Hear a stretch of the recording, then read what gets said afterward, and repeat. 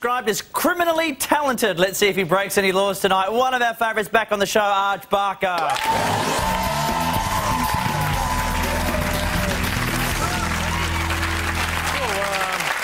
I'm in a great mood. I just got a new iPod, and it's the best one. It's an 80 gigabyte iPod because I like to jog for three and a half weeks at a time. And I do not want to hear the same song twice. Nothing screws up my run more than two and a half weeks into it. What? I have the Tiger again? And it's only this big, which is great because it goes in my belt and it keeps my hands free for my 500 liter bottle of Gatorade. I, I, love texting. I text all the time. Uh, I think it's great. This one girl's like, I think it's so impersonal. Texting's impersonal. What? Texting's way more personal than a conversation. You can't insert faces into a conversation. no one knows what you're talking about. You're like, yeah, so I didn't get the job, colon, open bracket.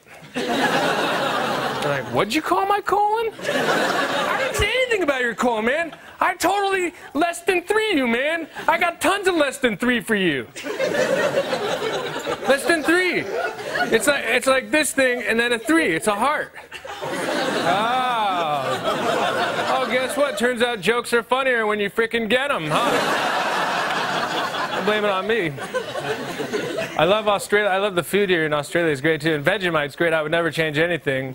I mean, you can't make Vegemite better. And if I was forced to say anything, the only thing I would maybe say is maybe just like maybe just like a tiny bit more salt. Because I don't think my I don't think my mouth is quite dry enough after I take a bite. It's like, hmm, hmm, Vegemite's good. Oh, what's that in my tooth? Hmm, oh, a camel. What mean about that? You know, when you go into a Thai restaurant and you order spring rolls, what you're really saying is, excuse me, but I've got too much skin on the roof of my mouth. Could you please see to it that 13 or 14 layers of it are removed as painful a manner as possible? I'll pay you, and I'll also speak in this 1930s movie voice.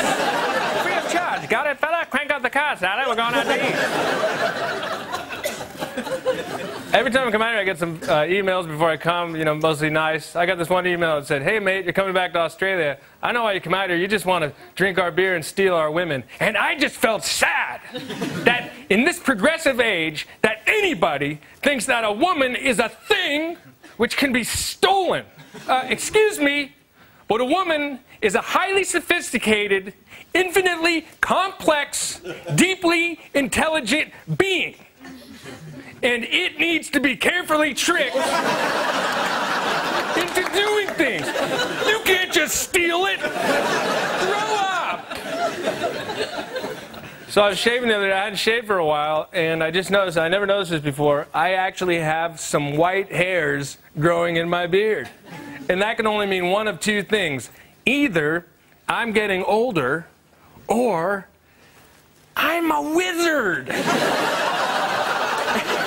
And I think we all know which one of those is more likely, don't we?